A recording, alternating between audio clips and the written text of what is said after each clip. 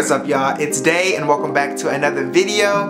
This video is going to be a fun one. I'm going to be doing some upcycling and giving this cabinet a complete makeover from top to bottom. Basically, I'm going to be sanding, changing the hardware, and giving this guy new legs. I'm also excited to be saying this video is in collaboration with Mapiful. So bring in the credits so we can get to it.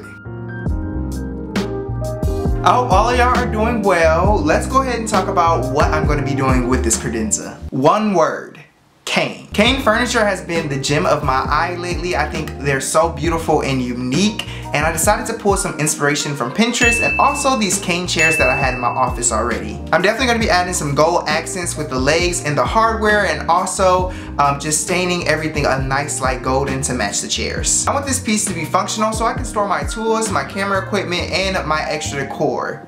Speaking of decor, let's talk about Mapiful. I am so excited about this collaboration because Mapiful has some beautiful prints on their website that are truly unique. It was so easy for me to customize my Mapiful print. I chose the Zodiac Mapiful because I have been really into reading my horoscope lately and learning a lot more about my Zodiac sign. Also, I wanted this office to feel very personal to myself and who I am, and what better way to do that than with this print. I was able to choose from a bunch of different styles to customize my print to my liking. My print came super quick and it was so easy to hang with the hanger that I also got from Mapiful as well. If you're interested in customizing and ordering a Mapiful of your own, I'll leave a link in the description down below. There's tons of different styles to pick from and they make the perfect gifts for loved ones. Alright, so now I told you guys what I wanted to do with the cabinet. Now let me show you the cabinet itself. As you can see, I've sanded the top already and it is this reddish colored wood, which is not what I was expecting. I was going for a more lighter wood like these chairs here, which I still need to fix these as well. Upcoming video. But um, I went ahead and sanded that and then also I put some wood filler here because there was a handle um, so sort of like this one. I took this one out too um, that was inside. Um, so these cabinet doors can like slide back and forth. But I want to change these so I went ahead and filled this up. I'm going to sand it down and I'm going to do the same to that one. Um, and I have these I got this hardware from CB2 and this is literally so unique. I thought this was the perfect touch for the cabinet.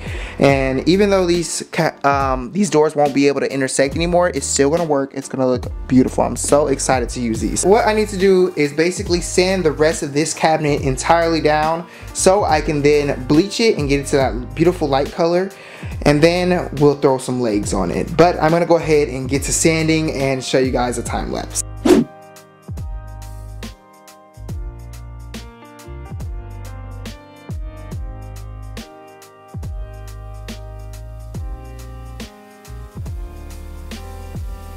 Okay guys, so I was just sanding this cabinet and I pretty much sanded most of it. Um, I'm just having a little trouble with the front of the cabinet right now. I'll show you. Okay, so when sanding this, I found that the trim pieces on this um, cabinet are actually a different wood than the wood of the cabinet. Um, this is the color that I want this all to be, so I'm gonna have to bleach these um, down just this side, the other side and the top um, and then the doors because I know those are orange as well. Um, but I think it will be a lot easier if I have this on um, some legs, have it elevated from the ground. So I'm gonna go ahead and screw the legs on, which are just these legs that I got off Amazon. These are the legs, um, they're just a straight hairpin leg. They're gold. Um, I got a set of four of these for, I believe, $24. And these are going to look so good just right there on the cabinet holding this guy up with that light wood and that gold there. Oh, I'm so in love. So I'm gonna go ahead and pre-drill some holes for this, um, screw these guys in, and then get this elevated off the ground so I can sand the rest of it. Okay guys, it's a little bit later and I went ahead and got the rest of this cabinet all sanded down, the trim piece that is. I did order my cane from Amazon a while ago and I got it. Sorry, it's so dark guys. Right here, which I'm so excited for. But I ordered two and they only sent me one, which is unfortunate because um, I, did, I didn't even know I was gonna get the cane today. I thought it was gonna take a little bit longer and I wasn't gonna have in time for the video, but um, I only have one, so I'm gonna make one work right now. I did contact the seller already, so they should message me back soon about that. But basically, I just need to take this cane and um, put it in the door. Also, since I only have one one roll of cane, I'm only gonna have one door um, for this cabinet for right now because I don't want to have two. So it'll basically be like this. So I'll have this door, it's gonna be sanded, the gold hardware on, and then cane right in the middle. And then all of this is gonna be one whole color. Um, you can see I sanded everything down. And then the inside of this, I'm thinking about sanding down as well or maybe painting something fun inside. I kind of just want to sand it down though because I really love that like raw natural look and it really goes well with these cane chairs that I have here by my desk. Yes, this office is a mess. It is currently renovation time so everything is everywhere. I'm going to go ahead and get to bleaching this because I'm really excited to see how this is going to turn out. Apparently I need to use um, some water and then just a scrub brush to scrub this and put it on so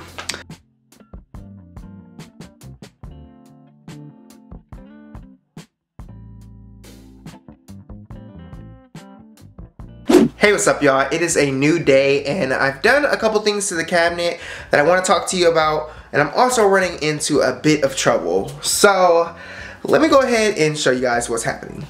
As you can see, I've sanded down the door.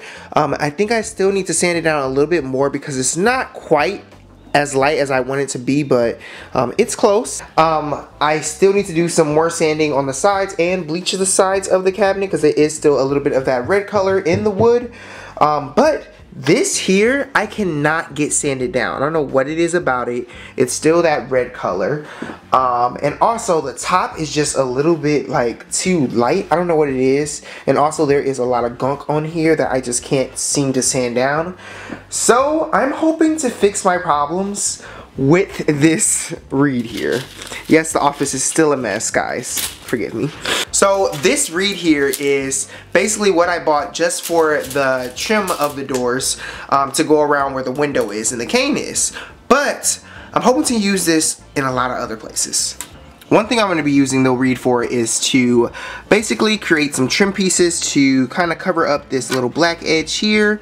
Um, so it'll kind of be like that. It's going to finish off the cabinet. As well as I'm thinking of doing kind of like a design here. Sorry guys, I'm holding the camera so it's kind of hard to get this straight. But kind of a design here where um, I layer this reed up to make three, like three reed pieces. So they kind of create basically like um, a faux trim on this. And a little bit of design too. Um, just so I can cover that bread piece right there. And also I'm going to do the same to the top. Now I'm going to try to get this in with Gorilla Glue sticks.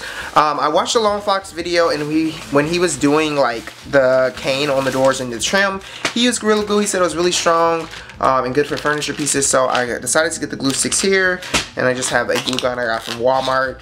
Uh, that wasn't too expensive, um, so I'm hoping this all works. I'm going to try to um, glue this reed on, but I'm going to go ahead and soak it in the tub just so it's a little bit more malleable and I can really get to it.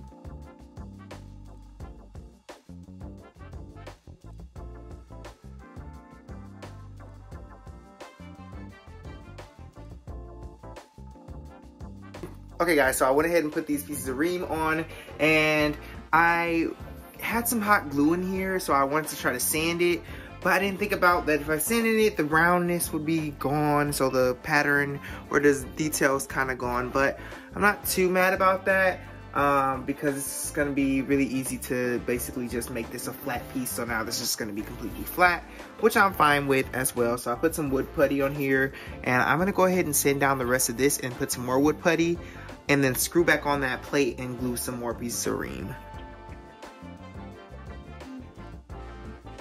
Okay, I don't know what day this is of this um, cabinet makeover, but this will be the last. We will get this finished today. So basically in the last clip you saw me uh, attaching those wood um, this wood ream just to cover up some of the wood that I couldn't sand and I've done that all around the cabinet.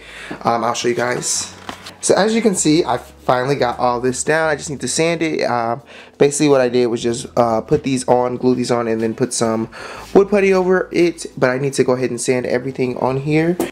But today we are going to be putting the cane on the door, which I'm really excited about, and then finishing up the rest of the cabinet by painting all this black and then replacing this backboard. Maybe we'll do that today. I'm not sure if we'll be able to.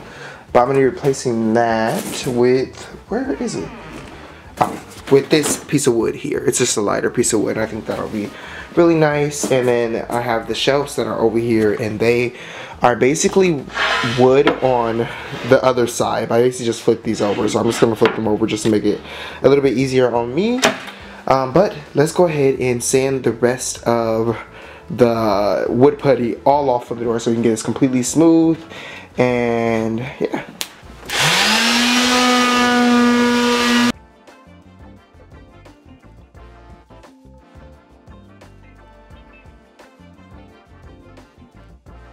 Okay guys, you just saw me sand down the rest of the cabinet and I got the top down to the light wood color that I want it to be, but the door itself is not. The door right now is like this kind of grayish wood um, and I needed to be a little bit lighter and I realized that I was using the wrong um, sandpaper. I was using fine which I needed a coarser one so Bradley is at the hardware store getting some coarser sandpaper and also some wood stain um, so I can stain this whole cabinet one light color.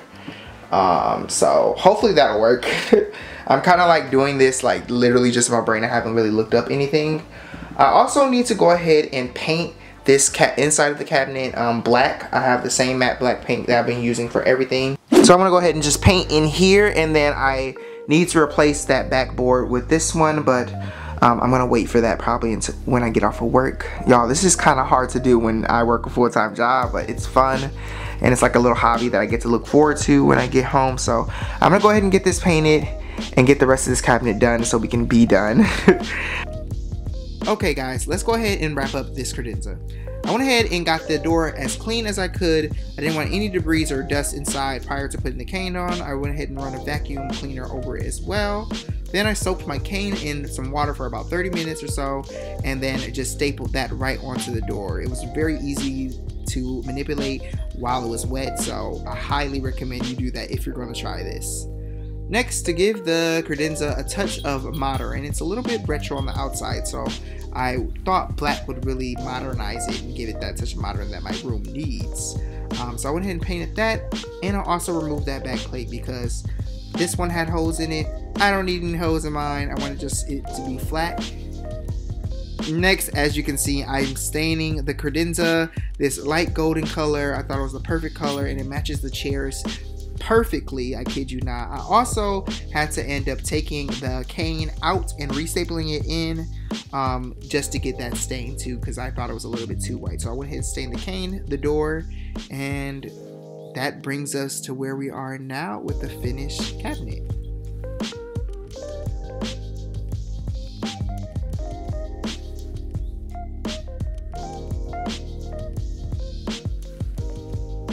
As always, thank you so much for watching, guys. That's all I have for you today. If you guys want more content, you can follow me on my Instagram at DXDRIE. As always, pieces and blessings. Thank you.